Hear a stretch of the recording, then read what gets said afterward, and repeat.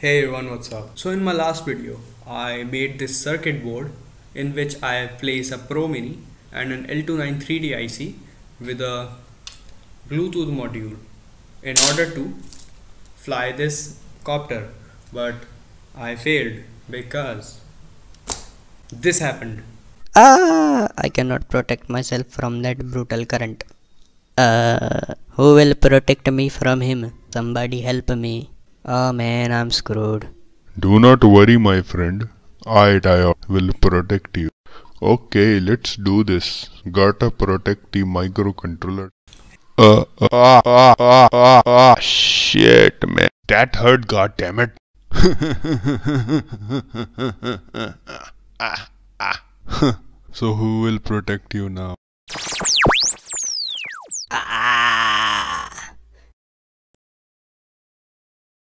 So as you have seen, you have seen that the the diode couldn't be able to protect the microcontroller. And they both are dead dead dead dead dead dead fortunately my HC05 survived.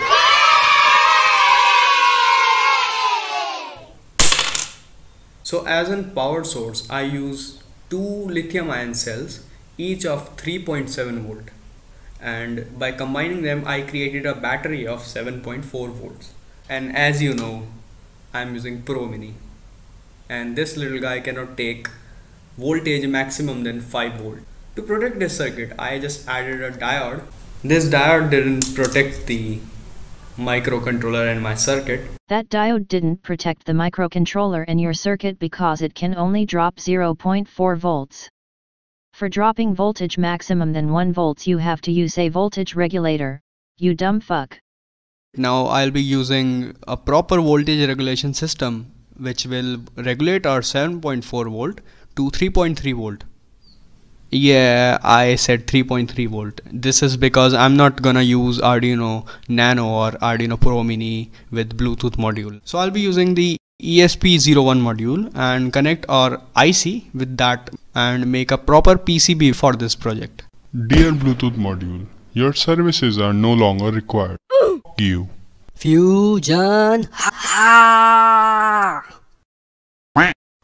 Uh, never mind that.